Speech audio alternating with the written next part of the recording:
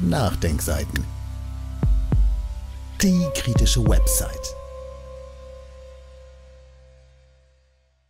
Kinder und Krieg. Die furchtbaren Prioritäten der Regierung. Ein Kommentar von Tobias Riegel. Wirtschaftskrieg ist wichtiger. Diese Botschaft sendet der aktuelle Umgang mit der Kindergrundsicherung.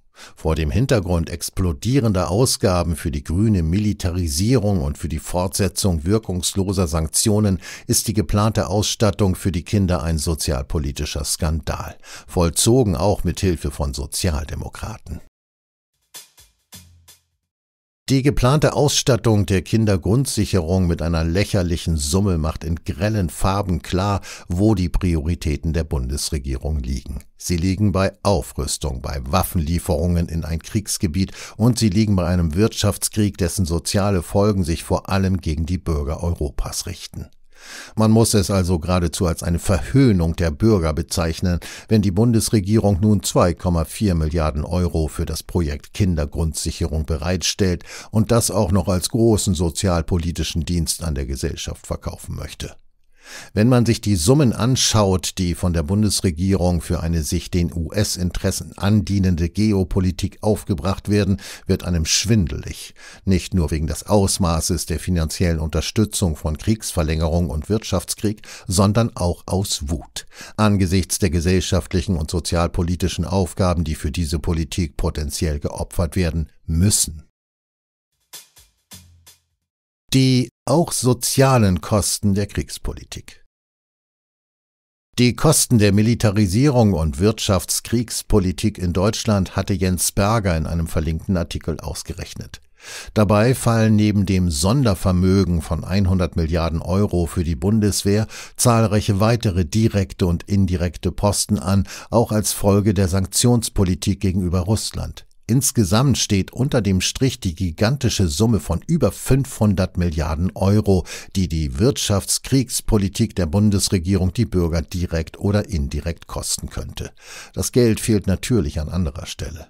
Die Grünen sind als die intensivsten Treiber einer Politik der Militarisierung und der Russlandfeindschaft zu identifizieren, die nicht nur außenpolitisch, sondern eben auch sozialpolitisch schlimme Folgen haben kann.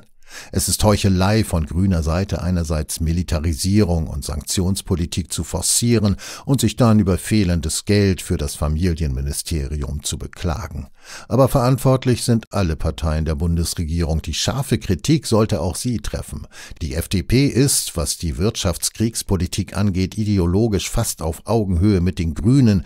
Bei der kühlen Inkaufnahme der sozialen Folgen würde sie vielleicht noch weitergehen. Dass Sozialdemokraten dem, wenn überhaupt, außer einem stets vorübergehenden Zaudern kaum etwas entgegensetzen, macht einerseits fassungslos, kann andererseits aber nicht mehr überraschen. Kindergrundsicherung. Kritik von allen Seiten. Die zentralen Punkte des aktuellen Eckpunktepapiers hat das ZDF verlinkt vorgestellt. So zum Beispiel eine Neubemessung des Existenzminimums, Entlastung für Kinder von Bürgergeldbeziehern oder eine zentrale Anlaufstelle. An der konkreten Form der geplanten Kindergrundsicherung gibt es Kritik von zahlreichen Seiten. So hat der Armutsforscher Christoph Butterwege bereits vor einigen Jahren kritisiert, eine Kindergrundsicherung wie damals geplant würde eine Familien- und Sozialpolitik nach dem Gießkannenprinzip bedeuten. Aktuelle Kritik aus verschiedensten politischen Lagern und von Verbänden wird formuliert. Auf den Nachdenkseiten ist Thilo Gräser im April ausführlich auf die Pläne eingegangen, Ralf Wurzbacher in einem weiteren Artikel. Dazu insgesamt fünf Verlinkungen innerhalb des Textes. Ich begrüße das Vorhaben einer Kindergrundsicherung prinzipiell. Aber auch wenn das nicht der Fall wäre, würde das aktuelle Geschacher um die finanzielle Ausstattung der Pläne die Prioritäten der Bundesregierung überdeutlich machen. Kritik an einzelnen Aspekten der praktischen Umsetzung der Grundsicherung, der Höhe der Ausstattung usw. So ist meiner Meinung nach sehr gerechtfertigt.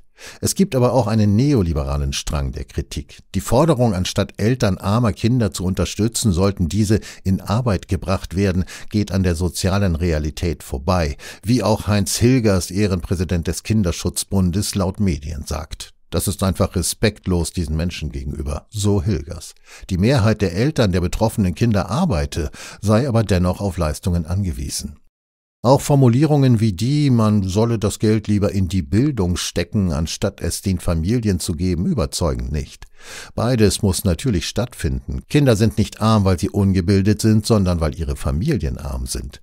In die Bildung, Infrastruktur, attraktive Gehälter, Lehrerausbildung und so weiter müssten zusätzlich massive Mittel investiert werden.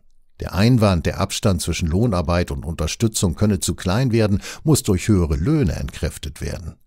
Hätte die grüne Familienministerin Elisabeth Paus eigentlich auch das Sondervermögen für die Bundeswehr oder die Fortsetzung der unwirksamen und selbstzerstörerischen Russland-Sanktionen öffentlichkeitswirksam im Kabinett blockiert?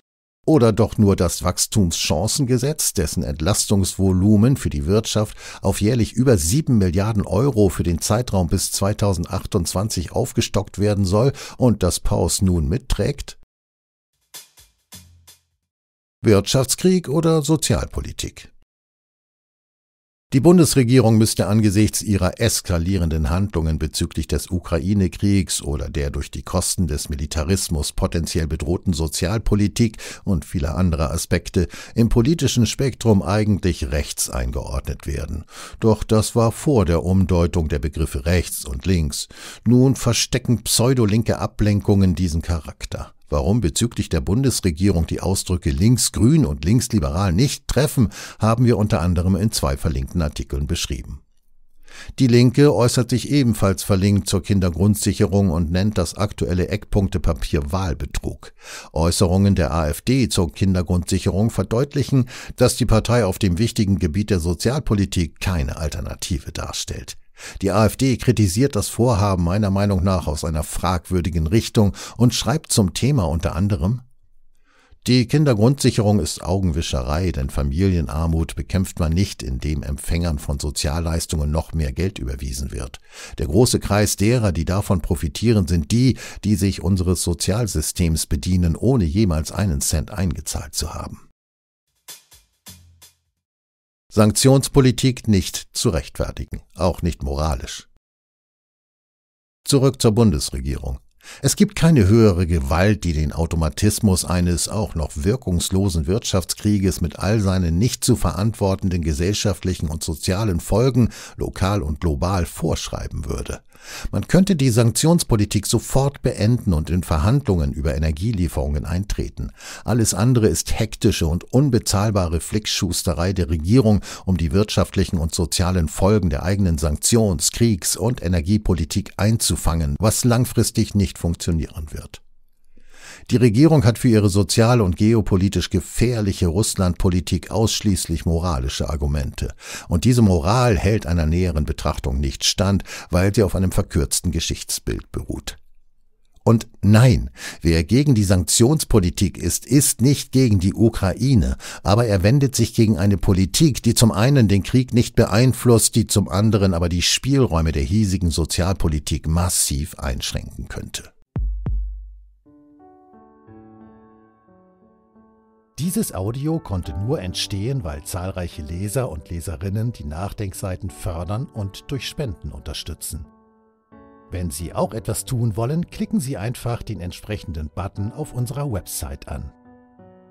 Übrigens, Sie können uns auch bei iTunes, SoundCloud und YouTube hören und wenn Sie mögen, gerne unseren Kanal abonnieren und eine positive Bewertung für uns abgeben. Wir freuen uns über Ihre Unterstützung und die Weiterverbreitung unserer Inhalte.